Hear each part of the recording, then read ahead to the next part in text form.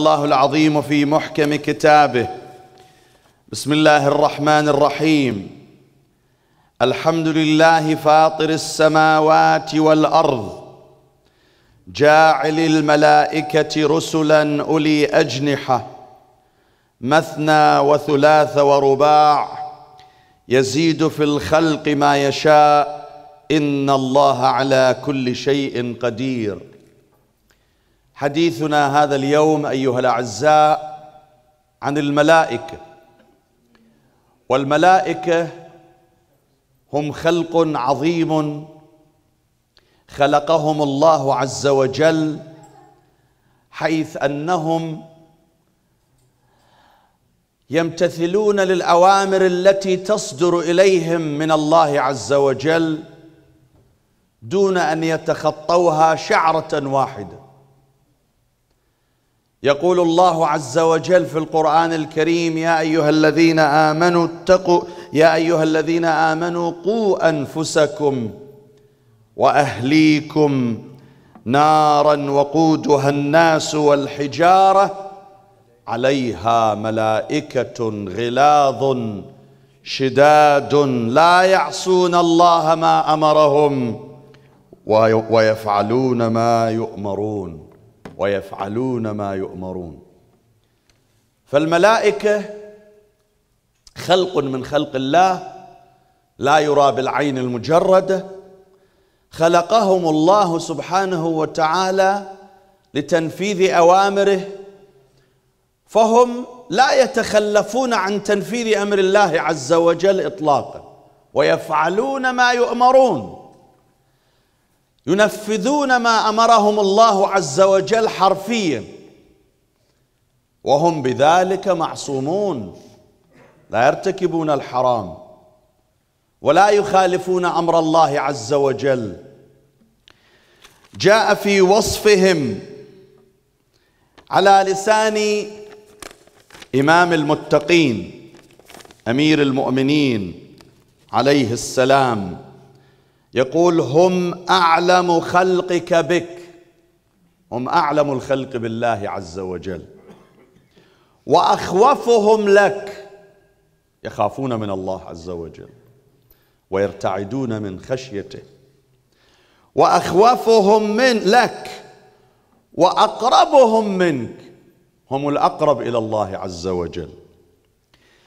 لم يسكنوا الأصلاب. ولم يضمنوا الأرحام ولم يخلقوا من ماء مهين.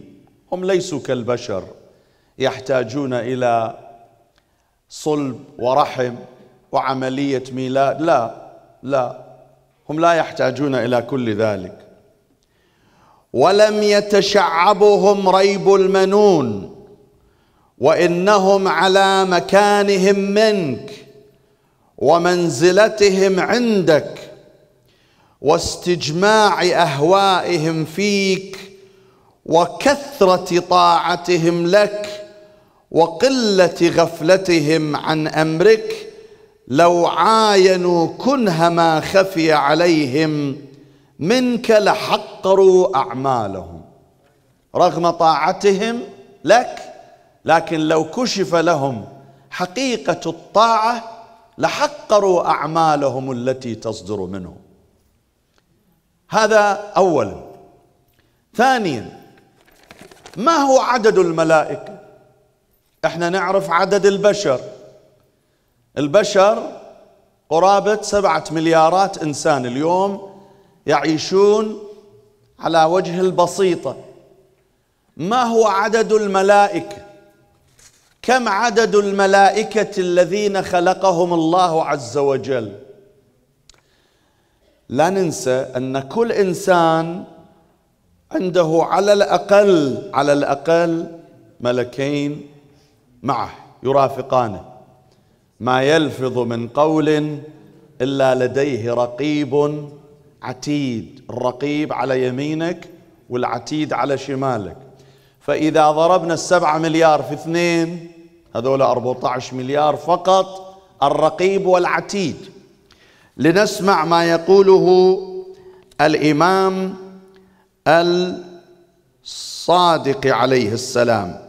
يقول ما خلق الله خلقا أكثر من الملائكة.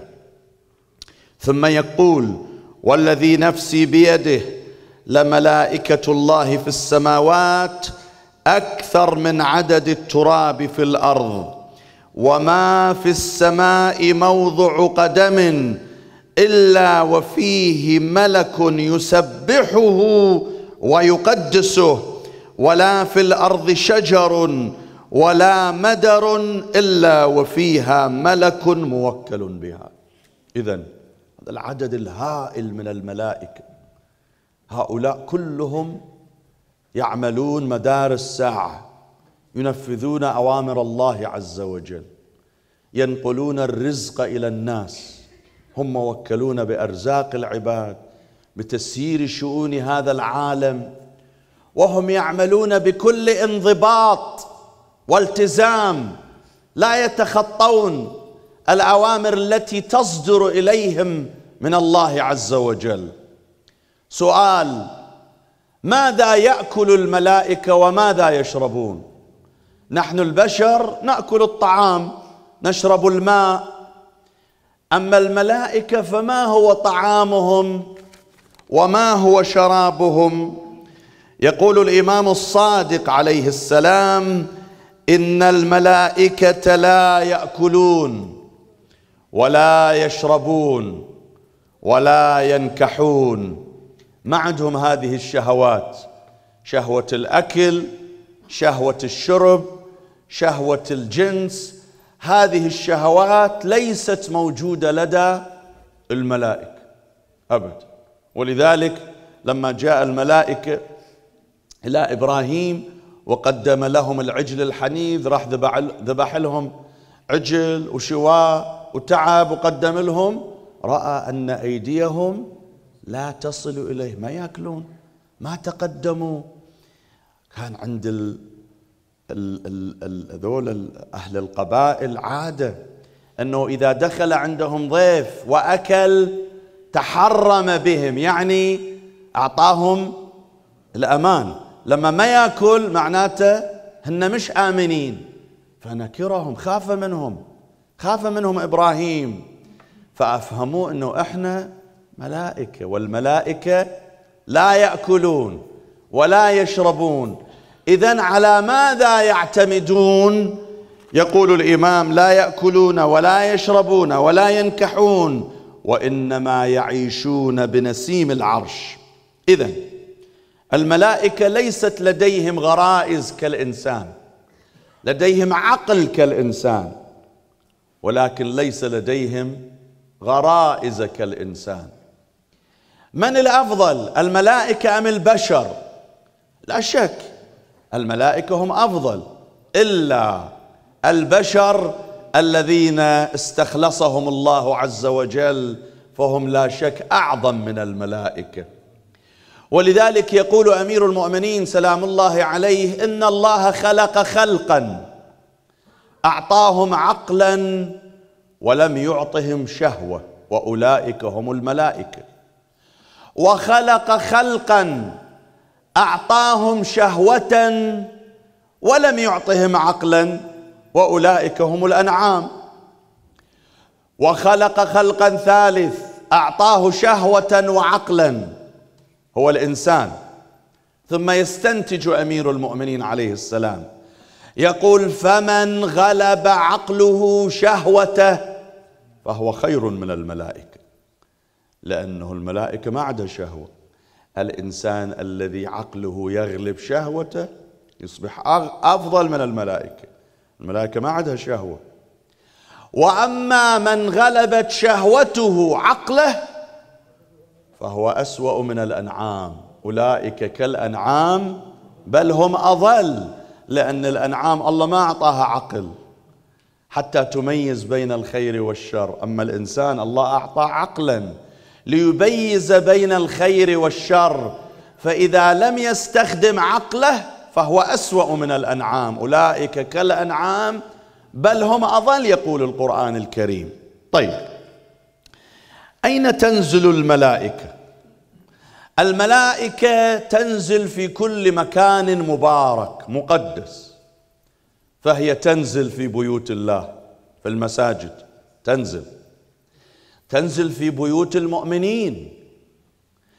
تنزل في كل ملأ يذكرون الله عز وجل ويسبحونه ويقدسونه. كذلك تنزل الملائكة في كل ملأ يصلون على النبي وآله.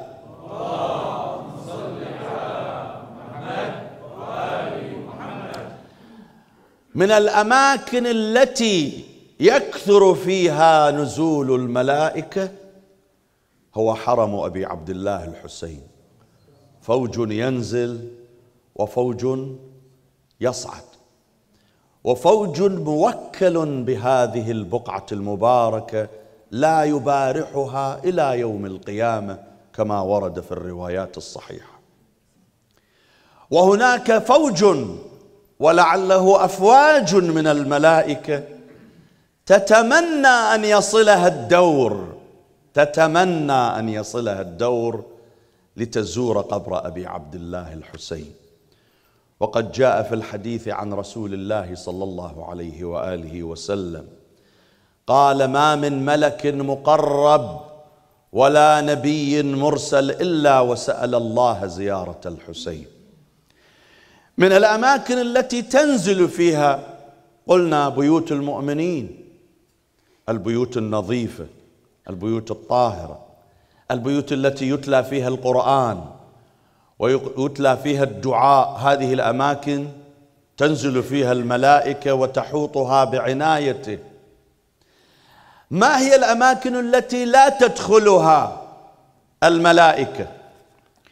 روي عن رسول الله صلى الله عليه وآله وسلم أنه قال أتاني جبرائيل فقال يا محمد كيف تنزل عليكم؟ كيف ننزل عليكم؟ وأنتم لا تستاكون ولا تستنجون بالماء. أحيانا الملائكة ما تنزل بسبب النظافة. إذا الإنسان ما نظف المكان بيته مو نظيف جسمه مو نظيف لا يستاك ما ينظف أسنانه ما يستنجي لما يروح الحمام ما يطهر حاله لما ما ينظف جسمه الملائكة تنفر. الملائكة تحب الأماكن النظيفة المناطق الأماكن المعطرة. تكره الوساخة.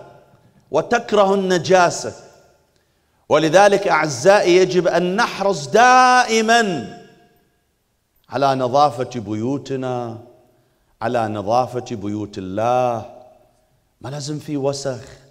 المساجد بيوت العبادة الحسينيات المنا... الأماكن العامة يجب أن تكون نظيفة طاهرة تفوح بعبق ال... الرياحين والطيب والعطر. يؤسف لبعض أماكن العبادة نرتادها يرتادها المسلمين المسلمون. ريحة طالعة وسخ. آثار الطعام على الأرض. تروح للحمامات مياه عم تتكبكب يمين وشمال. كلينس واقع. هذا لا يعطي صورة طيبة عنا كمسلمين أيها الأعزاء.